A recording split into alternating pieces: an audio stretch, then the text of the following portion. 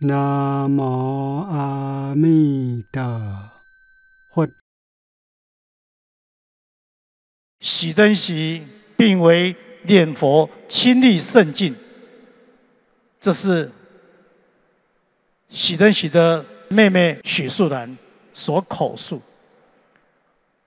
我的哥哥喜登喜，平生从未学佛念佛，可说是是。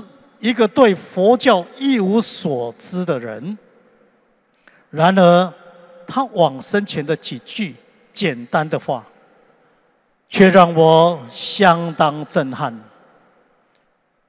让我全身毛发为之悚然，同时也让我对念佛必定往生的道理升起绝对的信心。自从家兄罹患肝癌之后，我便很关心，殷切地劝他多念南无阿弥陀佛，并且要全心依靠阿弥陀佛的加持救度。但是每一次见面，我都看不出他有在念佛的样子，更不用说精进了。因此，我都会关切地问他：“我念不？”他都会回答说：“有，阿弥陀佛。”往生的前一天，我去看他的时候，同样关切的问他：“无量不伯？”他依然回答：“有，阿弥陀佛，阿弥陀佛。”接着又说：“给我世界地上都是黄金呐！”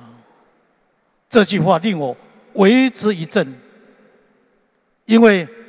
家兄是天主教徒啊，平生并未学佛，也没有听闻过净土的教理，当然对于极乐世界种种庄严是不知道的。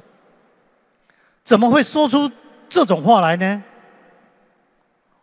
难道阿弥陀佛已经先接引他亲临极乐了吗？为了求证事实。我接着问：“你有看过吗？你有看过吗？”没有想到，他疑惑的反问我：“难道你没看过吗？难道你没有见过吗？”这句反问更让我非常震撼。依他的想法，我皈依、吃素、学佛、念佛、感。道场文法共修，已经好几年了啦。他才念几天的佛，都有看到了，难道我没有看到吗？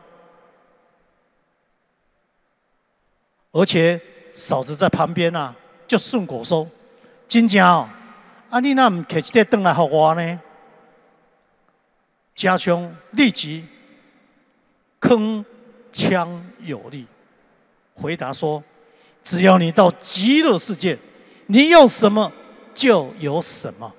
最后这句话更是如雷贯顶，令我毛发直竖。由此肯定家兄必以亲临极乐，否则这几句话是讲不出来的。家兄自从病重念佛到往生，只不过是短短的十五天而已啊。而且他的练佛只是想到就练，没有想到就没有练啊，并没有规定固定一天多少数目或多少时间的精进念佛，这样子依然能够往生极乐。由此证明，不论何人，只要有愿生之心，随个人之根基，随个人的因缘来念佛。都能够往生极乐，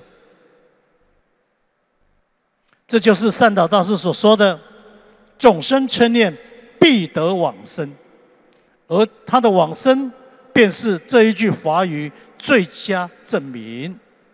因为往生是弥陀誓言，当然同时也是世尊经口所说，更是十方诸佛共同证成的。无量寿经中说：“弥陀誓言，欲生我国，乃至此念。若不生者，不取正觉。有言：我若成正觉，立名无量寿。众生闻此号，俱来我刹中。世尊正言：其佛本愿力，闻名欲往生，皆悉到彼国，字字不退转。所以上人在最后附上诗句说：“妹成就兄往生，兄成就妹信心。临终喜登宝地，将来广度群蒙。”最后，这位许素然在民国一百年，上人坐下剃度，他的法号上进下满法师。喜登喜还在病中昏迷的时候，就已先到极乐世界巡礼一趟，熟悉的极乐世界的环境。人虽然躺在病床，神是已经在神游极乐了。所以说，佛者的时候已经与极乐世界没有距离。南无阿弥陀佛。